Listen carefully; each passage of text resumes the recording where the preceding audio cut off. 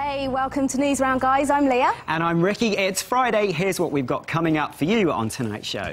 I'm at the premiere of the brand new Doctor Who. And meet the first monkey of its kind to be born in a zoo. Our top story today Doctor Who is back, but this time he looks a little bit different. The new Time Lord Matt Smith hit the red carpet for the world premiere of the new series in Cardiff last night. The new 13 part series will hit our TV screens at Easter, but Hayley was there for us last night to bring us all the latest gossip. Check out for this.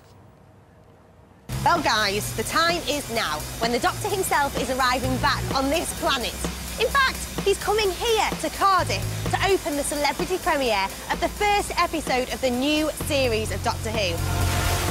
The 11th hour is due out on our tellies around Easter time, and in it we will see the 11th Doctor, played by new actor Matt Smith. It is thrilling. It is everything you would hope it to be. It's mad and adventurous and, uh, you know, it's a real challenge, but I get to go and play around on the TARDIS every day. I couldn't ask for more.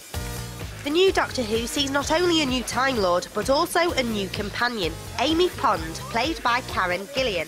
It's a very exciting story for Amy Pond. Um, she meets him as a little girl, um, and then he says he'll be back in five minutes and doesn't come back for 12 years. Um, and then she becomes a Doctor's companion, which is kind of what she wanted her whole life. Well, you can definitely expect the 11th hour to have all the best bits of the Doctor Who so far crammed into it, plus some little extras.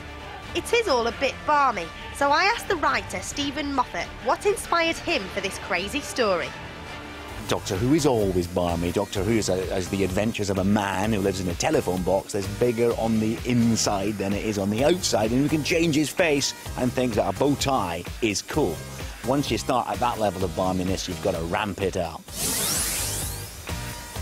I may have seen the future, but I can't tell you exactly what happens because that would ruin it. But what I can tell you is the Doctor is thrown immediately into danger and then he's given only 20 minutes to save the world. But will he do it? Well, you have to tune in to find out.